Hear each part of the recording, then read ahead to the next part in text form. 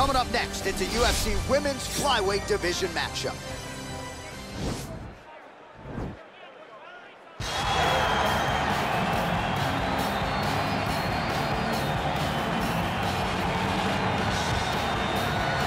Well, I'm not sure if she's a third degree or a fourth degree Brazilian Jiu-Jitsu black belt. All I know is that you are in imminent danger every time she closes the distance. Oh, the belt color hasn't changed, John, but they are just adding stripe after stripe after stripe. She's got so many stripes on her Brazilian Jiu-Jitsu black belt that it's unbelievable.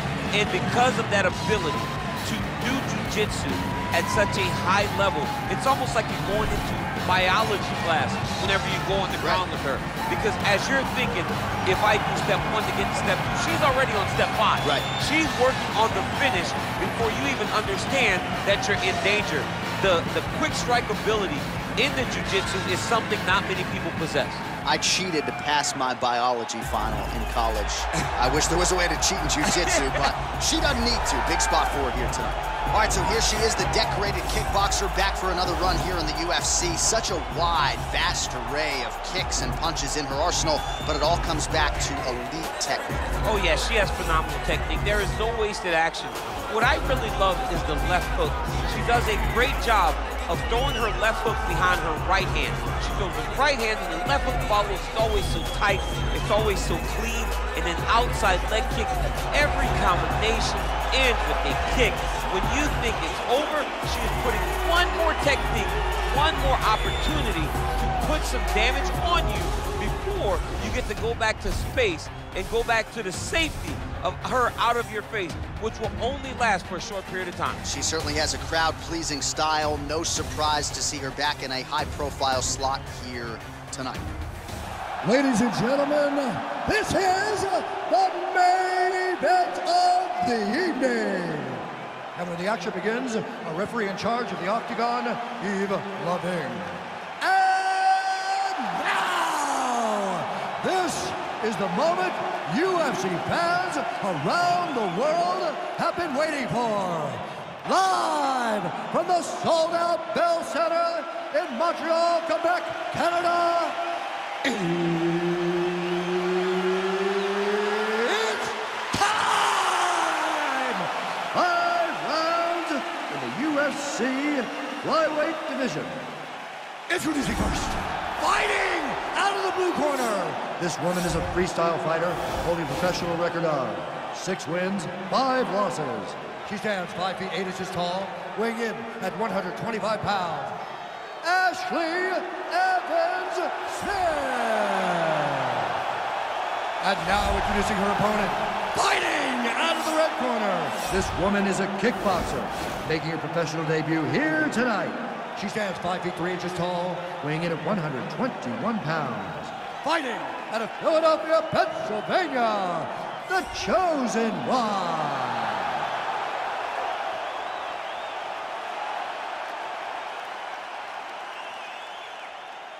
Okay, protect yourself at all time, obey my command at all time. If you want to touch love, do it now, go back to your corner. They touch gloves and we are underway. All right,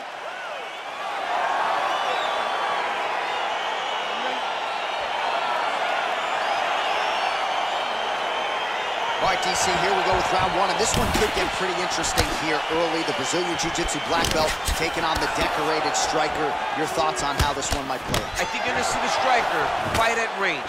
You're going to see her try to use her jab to keep her opponent away from her. Expect some front kicks.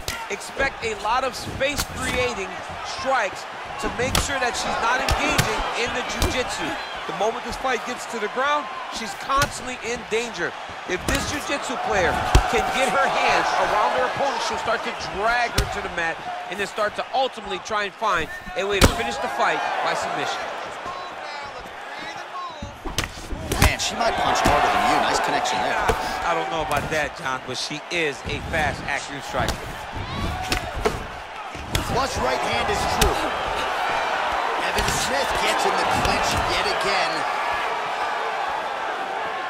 All right, so a nice job there defensively to raise the guard and prevent any damage. Those hands never leave where they're supposed to be, and if you do that, most times you will block the shot that's incoming. Can't take many of those, you better check.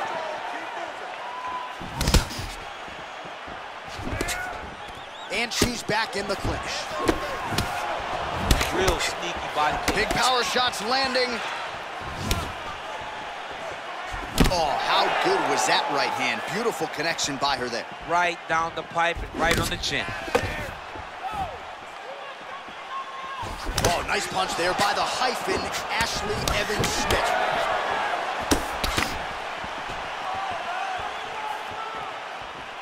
Lands the right hand.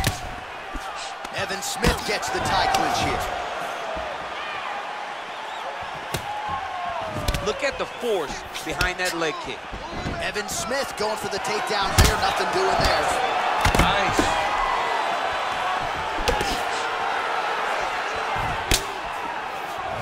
Good punch land. Continues to mix it up, going to the head, mixing it. Beautiful straight punch, and now her opponent's firmly on the ropes. But she can't take pictures now. She has to react. She has to go chase the finish. Big knee lands there.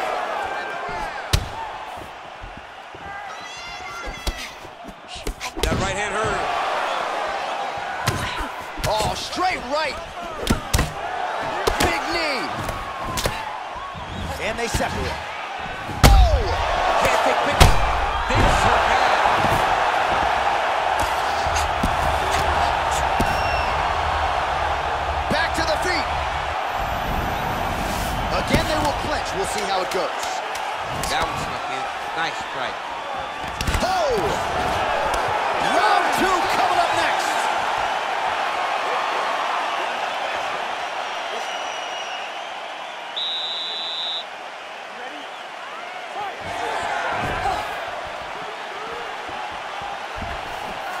How about that shin?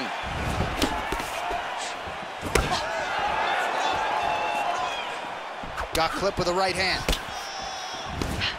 Well, she's had a lot of moments in the fight. You know, her one is very good, but you're not even getting one, two. What about the one, two? What about the one, two, three? How about an uppercut following the three strikes? Allow them to string together. Be confident in knowing that you have practiced this. You are ready to land in combination. Let it flow. Big kick lands. Oh, she continues to attack that lead leg. Solid leg kick there. Well, that's her power shot right there. Shot she's thrown tonight. Her opponent's hurt. Beautiful placement on that hook. What a great job of finding such a massive shot. There's no give on that leg Oh, kick. nice punch there by Evans Smith. I might let you kick the inside of my leg after the show.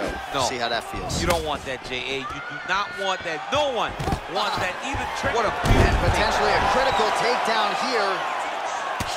Oh man, that left side is getting beat up now. Look at the redness there. Well, there are a few things more fun to watch in mixed martial arts than these type of transitions and scrambles on the ground. High-level grappling can really be entertaining.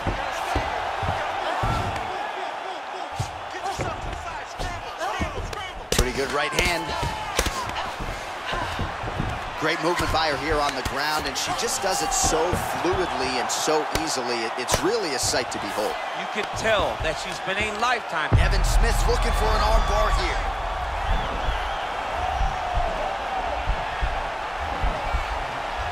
Attacking.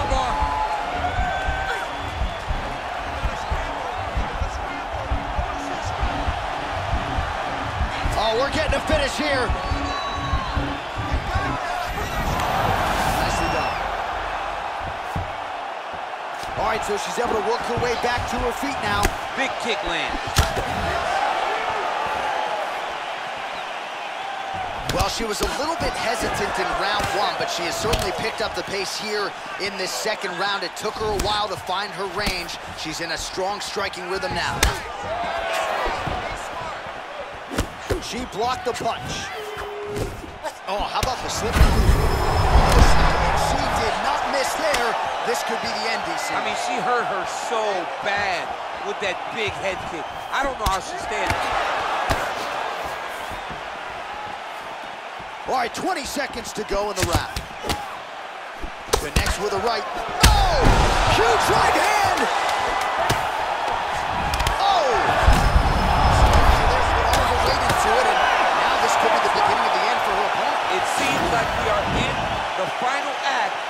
Four-part play because this fight is about done. All right, let's take a look back at some of the action from that previous round, DC. Excellent job that round. Every punch you throw seems to be... You ready? You ready? Third round underway. Oh, she just continues to land a high volume of strikes here, really just like she did in the previous round, and she does not seem to be slowing down at all. Nice head kick. You can never know what you're going to see with this young lady. Is she going to finish the fight? Whoa! Oh!